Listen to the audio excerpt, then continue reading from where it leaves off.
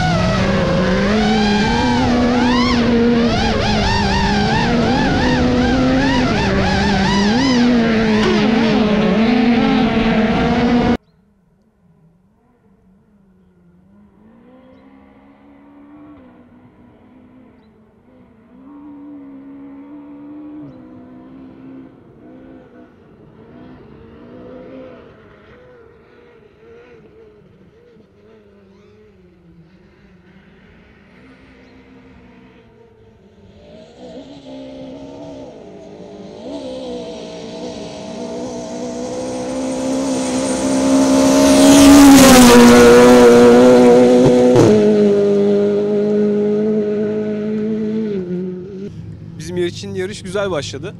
Ee, ilk etapta iki çekerde 5 time yaptık. Ee, zaten sezonun son 3 yarışına e, Gürkal kardeşimle beraber e, arabayı tanımak amaçlı, kendimizi biraz daha önümüzdeki sezona hazırlamak amaçlı katıldık. Ee, organizasyon güzeldi. Etapları çok beğendik. Çok keyif aldık. Lastik patlattık, kayış attık. Ee, rallinin içinde olan herhalde bu yarışta her şeyi yaşadık diyebiliriz.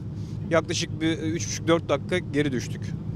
Ee, ama dediğim gibi keyif aldık. Derecelerimiz de iyiydi. Kendimize göre önümüzdeki sezonu hazırlamaya çalıştık. Ee, İstanbul Rallisi bizim için aslında güzel başlamıştı. Ee, ilk günün üçüncü etabı bir yol dışı yaptık. Ondan sebep bir şarj ve e, şarj dinamosu problemi yaşadık. Dolayısıyla direksiyon power gitti. Ee, sonra servise geldik. Ee, GP Garaj My Team aracımızı hazırladı ama fakat e, bu sefer ikinci etapta lastik patlattık. Etabın içinde durarak lastiği değiştirmek zorunda kaldık. Bir 4 dakika bir kayıp oldu. İlk günü bu şekilde tamamladık. Bugün yaptığımız zamanlarla e, Tosfet Rally Kupası'nda kategori 2 ikinciliğini aldık. Genel klasmanda da anca beşinciliğe kadar çıktık. Ama gidebildiğimiz etaplarda iki çekerde, TRŞ'de e, iyi zamanlar yaptık. Bu da 2024 yılı için bizim için bir antrenman oldu. Tansel'le bu dördüncü yarışımızdı. Bitirdik.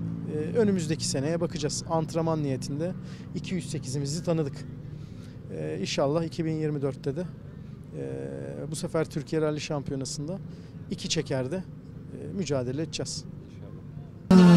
Kategori 2 ikinciliğin sahibi Tansel Karasu ve Kooperatif Gülkan Menderes onların da ödülleriyle yine rally camiasında çok güzel görüntüye imza atan yılların kameramanı Salih Zeki İnan takdir edecek. Uzun yıllar çok güzel görüntüler çekerek bütün bu heyecanı televizyon ekranlarına yansıtan Salih Zeki İnan, Türkiye'nin en iyi kameramanlarından tanesi. Tansel Karasu Gökhan Menderes'i de alkışlarla uğurlayacağız. Güzel bir podyum yaşıyor onlar da.